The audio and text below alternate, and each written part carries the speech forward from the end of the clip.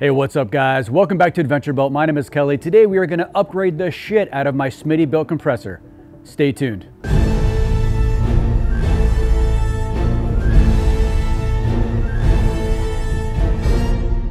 Hey guys, welcome back to the channel. This whole thing was brought out of, Trevor did this mod years ago to his Smittybilt. I've been a holdout uh, basically out of laziness because I knew making this video was gonna take a lot of time because of the testing. And whenever we air up, Trevor always comes out ahead when airing up, even with the trailer. It's ridiculous. So I'm gonna do the best I can to at least get even with them when we air up. Now, don't get me wrong. I love my Smittybilt compressor. It's ran flawless for over two years now. You can't ask a lot more out of a compressor. My only issue is the connection points for the accessories, it's all a proprietary mount. The plan is to cut off the proprietary air hose connector and put on a quarter inch standard air hose connector. That way I can use any accessories I want. So check the description below for all of the links, including the compressor, all the fittings I use to make this thing work, including I'll have the Harbor Freight ones as well as any uh, similar Amazon ones for easier shopping. I'm gonna deflate all the tires down to 15 PSI and then reinflate them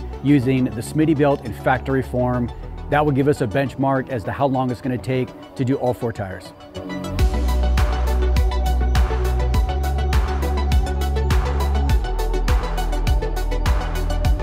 I got the truck aired down to 20 PSI, 19.9 technically, and I thought that was good enough. Uh, otherwise, I'm gonna spend just forever airing up and airing these down. The Smittybilt will be plugged onto the battery in the engine bay, and the engine will be on to get the most juice out of the Smittybilt.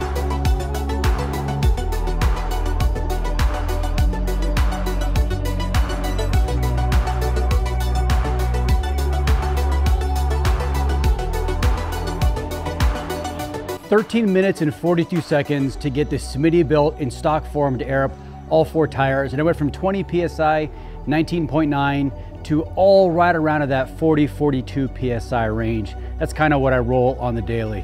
All right, let's get this modification done and see if we can do any better because that time was terrible. So from this packet, all we're gonna need is this and this. From this packet, all we're gonna need is the male end that screws onto this end. Now we're gonna take our handy dandy hose cutters and cut the end of this hose off. And I'm gonna cut it as close to the valve as possible. I much prefer using these clamp style hose clamps. You have to use a tool. However, these are definitely more expensive, but they are completely foolproof. They'll never come loose. Now there's no tab to catch on things. This will never come loose. Rock solid. And wrap the end in Teflon tape, putting the male valve on. Tighten it down, 14 millimeter, 17 millimeter. I know these are standard, however, I have a toolbox right now next to me full of metric tools. And now with this on, we can use any standard quarter inch air fitting. I know you might think this is weird, but I really like this hose attachment with the single point uh, valve and the gauge right here. So I'm gonna cut this off and make myself another uh, regular female end attachment for this so I can still use it and keep it as a spare. All I'm doing here is using the wrench to give me some leverage so I can spin it and then I'm using my hand to push it down as I spin it. And I sprayed it with a little bit of Windex to give it just a little bit of lubrication to get in here. It's going in just slowly. And this again is just gonna be a backup I'm gonna leave in my toolkit because you never know. And people often ask me, you know, there's better systems out there. How do you still, why do you still use a Smittybilt that you got to plug onto your battery? I like the ability to not have something mounted in my vehicle just because you're kind of stuck with it at that point. And also, if someone needs to borrow your compressor, it's easy just to hand them to them. And there's definitely a lot better ways to air up tires. I know a big one is the CO2 tanks, which I like the CO2 tanks. The only thing I don't like about the CO2 tank is going to be the fact that it's finite. I don't like the ability, I don't like the ability just to have something that will run forever. As long as I have power, this Smittybilt is gonna produce air. Well, unfortunately, the light is not really working so much. I'm gonna try to get one last air up with the modification we've done to it thus far and see uh, what kind of progress we've made because it, maybe it didn't do anything. I don't know, we'll find out because the end part of that hose that I cut off is very, very narrow. All right, let's get one last air up in for the mod we've done so far and see where we've gone.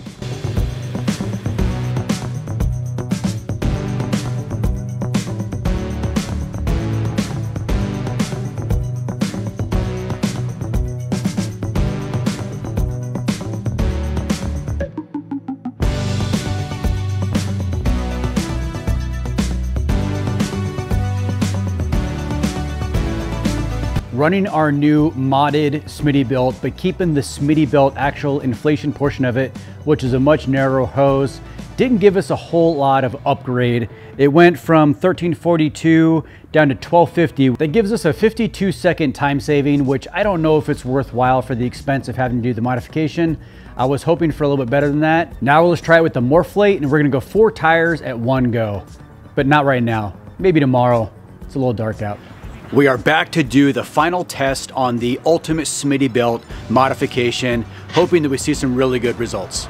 Before we get going, I had to make a quick modification to my system. I actually plumbed it wrong in order to use the Morrflate inflation device. What I ended up doing was taking the female end off of the original Smitty Smittybilt little compressor system here, and I swapped it over to the Smittybilt compressor itself, and then put the uh, male end on here, so now it is correct, and everything will work fine.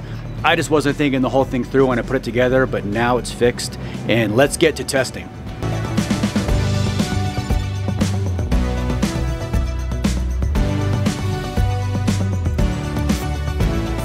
I'm aired down and I'm about to air up. The really cool thing about having this new hose line system with the Smittybilt is I can plug it right into the Morrflate. I don't need an extension cord. It's super convenient, one less thing to pull out of the bag.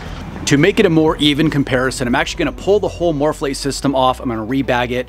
That way I have to deploy it. Uh, it. it. makes it a more even comparison with having to use the single inflator of the Smitty Smittybilt.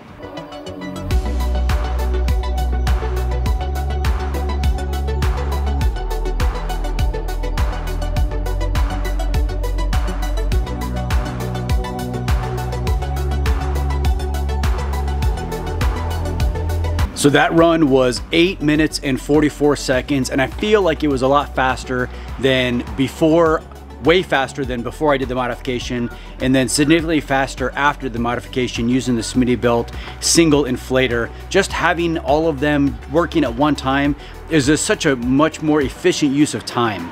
I'll put all the numbers for all three runs here so you can see them all side by side. And I'm really impressed with the Smittybilt. It's been a great compressor. I've not had a single issue with that for over two years and Trevor's had the exact same one for over three years without a single issue. So Smittybilt, you've really nailed it with this compressor.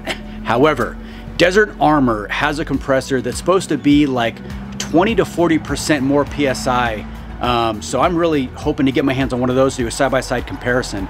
Let me know if you guys have any interest in seeing a side-by-side -side comparison between the modified Smittybilt and the Desert Armor, or maybe even another compressor. Just comment below. Let me know what you guys think and what you kind of want to see. I'll see if I can make it happen. All right, guys, I really hope you enjoyed that video. If you did, be sure to hit that thumbs up button. Subscribe, it does help the channel. Follow us on IG, and I'll see you guys next time.